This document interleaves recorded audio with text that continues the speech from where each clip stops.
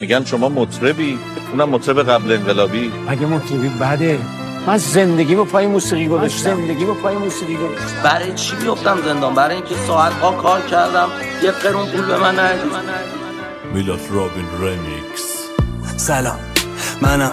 همون که معلم نخواستنم. همه شب درای دنیا برام. سلام. چون دلم میخوا سوالاشونو جواب بدم.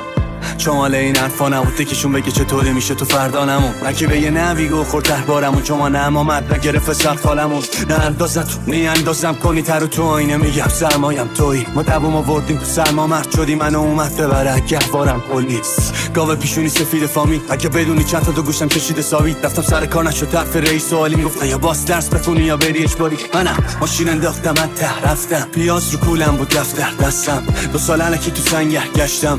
برگشتم شهرم اشتم. گرانو رپ فارسی جلو. کار نداشتم که چی خواب دیده. و کی شو که خوب کار میده. خب من اومدم بریز صدا؟ بی فلو.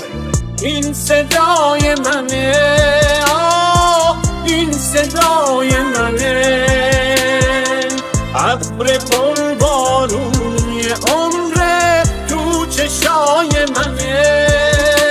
کلی انگیزه داشتم حیف شد. حالام بالام ولی رو سیف مود آه این همه را برو به امید فردایی که یه ها می‌بینی غیب شد.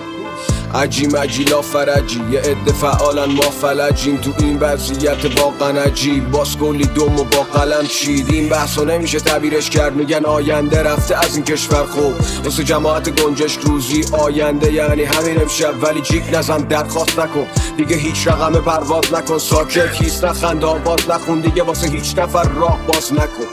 منظور اینه که به زور خواب باشی. باز یادت بره که یه روز بال داشتی. دست بسته جلو قلدر.